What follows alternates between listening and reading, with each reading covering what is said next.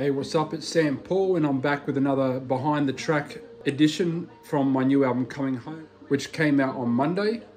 Um, this is the first track on the album. It's called Visions, and um, it was actually one of the last tracks to, that I wrote for the album. Um, I stumbled across a really nice piano sample that I really thought was really cool, and I decided to work with it as an intro track and just make it really bare basic. So no drums nothing.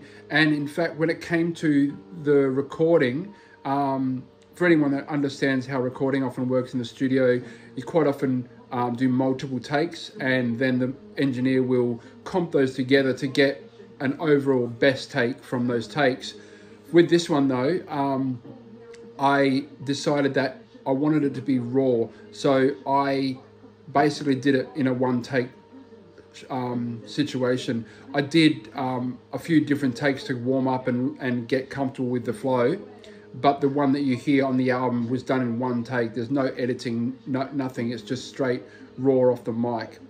Um, the concept behind Visions is, um, I guess, basically me outlaying um, what um, you know my my vision, I guess you could say, for my music career, um, from being influenced by um, the classic '90s um, hip hop to you know being dedicated to what I do, putting the time, putting the effort in, having a very distinct vision for what I wanted to achieve from day one.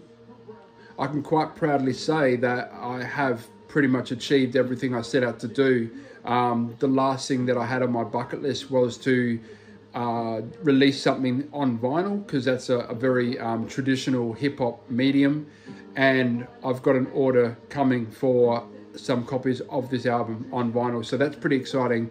Um, but yeah, so that that's pretty much it. It, it outlays very very succinctly the way I approach my music career. Um, from not following um, other artists or trends and just doing my thing, making my style, making my music, speaking on what I wanted to speak on, and